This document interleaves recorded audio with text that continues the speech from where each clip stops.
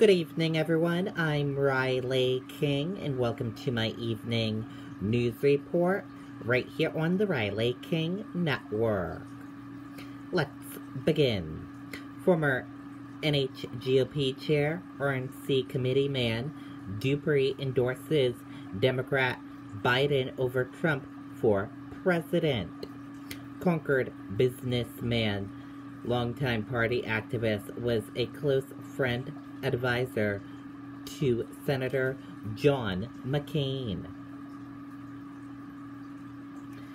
Lifelong New Hampshire Republican leader Steve Duprey endorsed Democrat Joe Biden for president Sunday, writing in a Facebook post that Biden has the values necessary to unite the country. Duprey, a long time friend and advisor to the late Senator John McCain, joined Cindy McCain and other moderate Republicans in New Hampshire and elsewhere in endorsing the Democrat nominee, writing that having a president who seeks to build unity rather than division and works to uphold the values that unite us is what we need in our president in these challenging times. For me, Vice President Biden is that candidate. Duprey, a prominent Concord business owner, served as the state's GOP's Republican National Committee man for two to four year terms in the 1990s and two more four year terms in recent years. He also was NHGOP chair for four year term year terms in the 1990s and early 2000s. Duprey was a close, confident, and personal friend to McCain in the late senator's victorious campaigns in 2000 and 2008 New Hampshire First in the Nation presidential primaries. When McCain was the Republican presidential nominee in 2008, tra Duprey traveled with him throughout the country and was at his side when he lost the general election to Barack Obama. The two remained close friends until McCain's death in 2018, when Trump frequently criticized McCain during the 2016 presidential campaign and later during Trump's first term in office. Duprey came to McCain's defense. When Trump in early 2019 slammed McCain months after his death, Duprey wrote, President Trump isn't worth to carry even John McCain's Navy cap. No measure he he the patriot or public servant that John McCain was ever.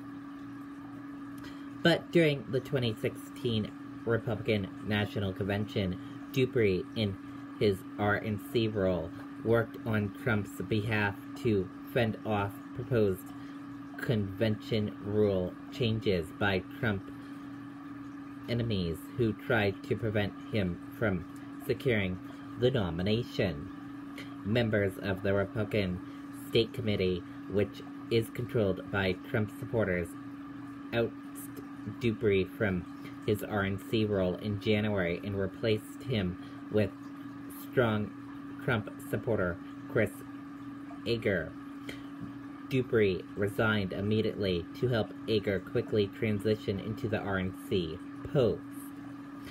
In his Facebook post, Duprey wrote that he agreed with an editorial last week in the New Hampshire Union Leader, in which the conventive newspaper endorsed Biden. It was reportedly the first Democrat endorsed by the newspaper in a hundred years. For me, this uh, election is about more than issue and policy debates. Duprey wrote. It is about how the president leads, how we speak to all of us, and whether he acts in a way that helps bring this sprinted argumentative and bogus nation together. Vice President Biden has a long history of appealing to what unites us rather than what separates us. We need that kind of leadership now. You can read Duprey's full Facebook post on John DiStaso's tweet, and here's a look at it below.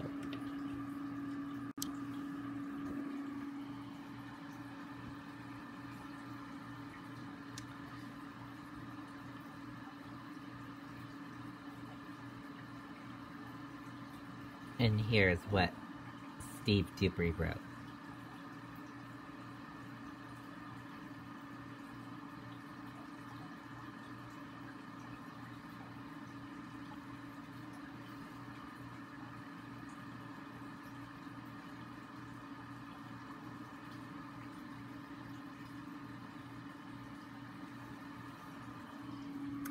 And there you go on that. And we will put it up on the Riley King Network Facebook page after this broadcast. Duprey has no has not limited his support for Democrat to Biden in the election.